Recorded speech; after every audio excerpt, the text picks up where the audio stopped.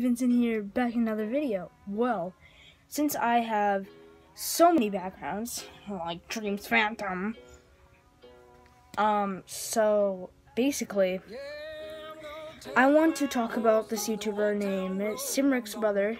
He, this is not a content cringe, okay? This is not. I probably will if he copies one of my next videos again.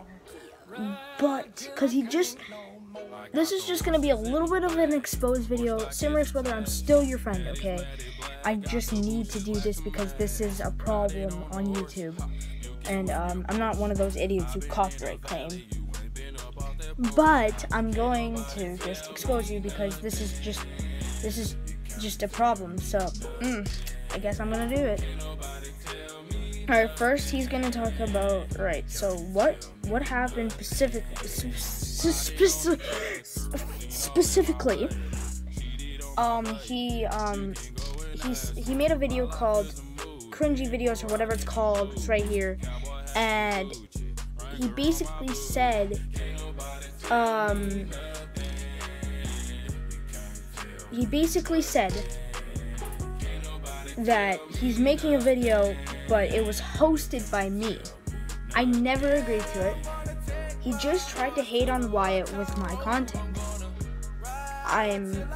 He completely cut out my whole intro to Content Cringe. He took out my whole ending to it. He took out my whole song. And he left the little part out. And at least he put it. But he never asked me for permission, which is a big problem here on YouTube. Samurai brother, again, I'm still your friend. I'm just telling you this is a problem. You can't do that. Okay?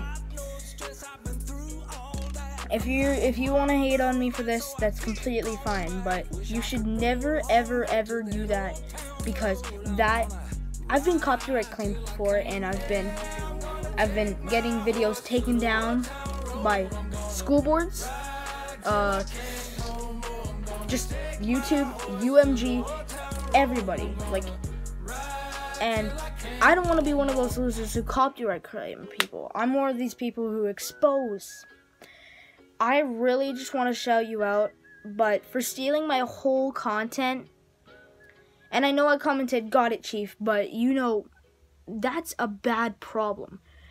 To just, you completely took, you completely took all of my content.